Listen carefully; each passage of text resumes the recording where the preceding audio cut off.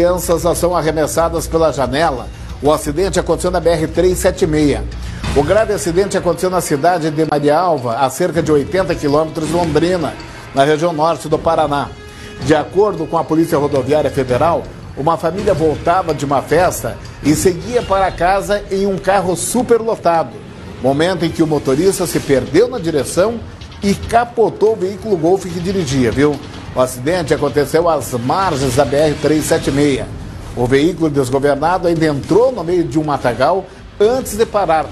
Duas crianças de 4 e 6 anos que não utilizavam cadeirinha e cinto de segurança foram arremessadas pela janela né, e socorridas em estado grave. É, os outros quatro ocupantes, sendo o motorista, a esposa e um casal de amigos, também ficaram feridos, mas não correm risco de morte, viu? No local, foi levantado que o veículo condutor Golf não, não tinha, né, pelo menos carteira, não possuía carteira de habilitação e estava com sinais de embriaguez. Ele não quis passar pelo teste do bafômetro e vai responder por isso.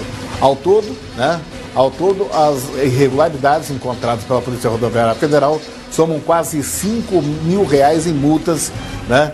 Olha, a falta de CNH, a recusa do teste de alcoolemia, é, alcool, é, alcoolemia, né? alcoolemia, excesso de passageiros e ausência do dispositivo, do, do dispositivo de retenção para crianças. Deixa eu falar aqui com a doutora Sônia Inglatt, já está comigo aqui no, no telão do programa Zero. Doutora, primeiro, ele se recusou a fazer o teste de bafômetro. Isso é, caracteriza crime ou ele não é obrigado é, a produzir prova contra si, doutora?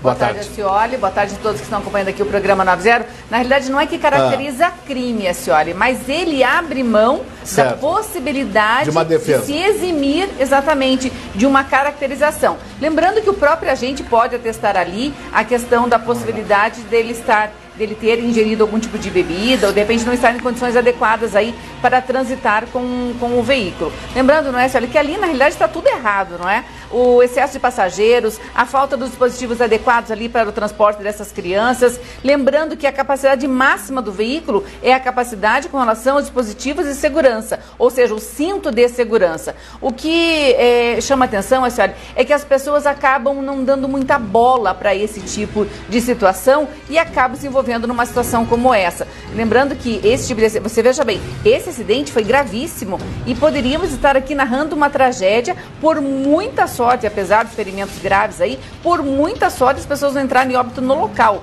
porque crianças foram arremessadas, a senhora.